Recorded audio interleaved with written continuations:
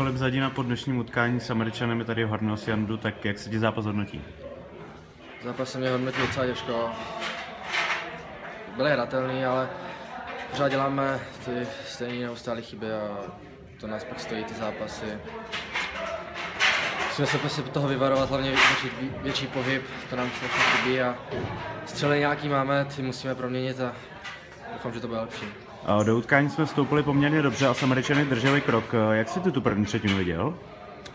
Jo, jo, drželi jsme krok, dohrávali jsme to, ale pak jsme od toho odpustili prostě, nevím, proč jsme od toho odpustili, když jsme s nima drželi krok, hráli jsme vyrovnaně, ale pak jsme dostali toho blího góla a asi jsme se nějak psychicky položili, ale musíme být více dolní a prostě makat na krev pořád. A z mýho pohledu jsme hráli poměrně agresivně, dohrávali s Američany. Bylo to cílem, nebo říkali vám trenéři, ať eh, to takhle na ně zkoušíte? Tak určitě oni jsou všichni hráči stejný vyspělí, výborně, podrží si tempo, když budeme tak trochu dohrávat, tak pak už se dostanou do paměti, že to dohráváme a můžou, můžou to od sebe vyhodit. A bylo to vidět, když jsme měli ten rychlejší přístup a hokejku na puk, tak tam dělali chyby a pak jsme z toho nějaký ty šance měli.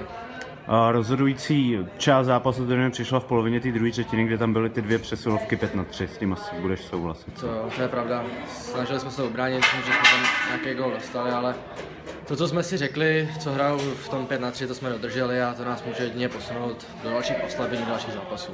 V závěru jsme snížili na 1-3, tak jak si tu branku viděl ty? No, tak o, poprvé jsem tam dostal od klasy na Vantimera, to jsem trefil, akorát to tam zblokovali a po druhém to tam jsem čekal, dal dobře křížem. Jsem viděl, že nám nikdo nejde, jak se to podržel a vytřel jsem nahoru, jak jsem docela dobře trefil a padlo to tam, akorát jsme to nedotáhli ten zápas. A volný den po těch třech zápasech určitě bodne. To jo, to je.